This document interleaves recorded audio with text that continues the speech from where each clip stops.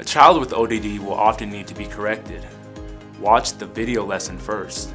Become familiar with the steps to this parenting skill and be able to do it easily by memory. You may need to watch it multiple times. The key to using this parenting skill with a child with ODD is being consistent. Children with ODD will argue and fight with you and other authority figures because they have been conditioned to respond this way.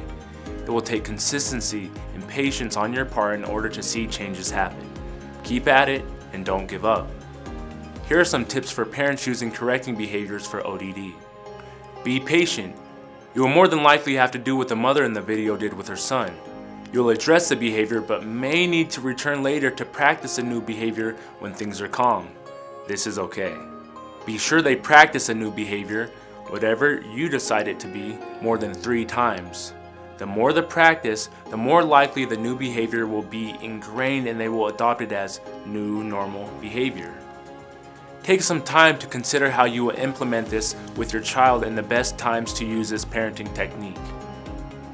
It's powerful if you know how to reduce the consequence if they are able to comply with what you are asking them to do. This helps create an understanding that making slight changes will result in something beneficial for them. The last thing is be consistent.